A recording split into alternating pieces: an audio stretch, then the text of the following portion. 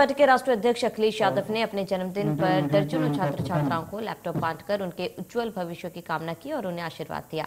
अखिलेश ने कहा कि ये छात्र छात्राएँ मेधावी हैं और उनके गुरुओं ने इनको अच्छी शिक्षा दी है। इस अवसर पर समाजवादी पार्टी के तमाम कार्यकर्ता और नेता मौजूद रहे। नेताओं ने अखिलेश यादव को बधाई दी।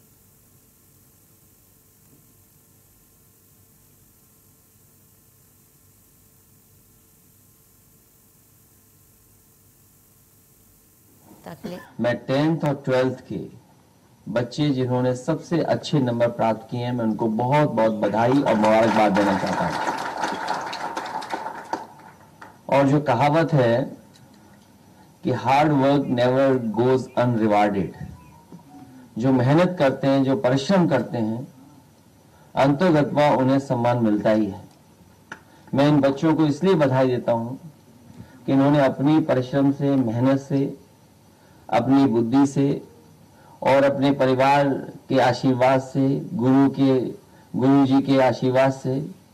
इन्होंने न केवल परिवार का नाम रोशन किया, बल्कि अपने स्कूल और समाज में अपना सम्मान बढ़ाने का भी काम किया है।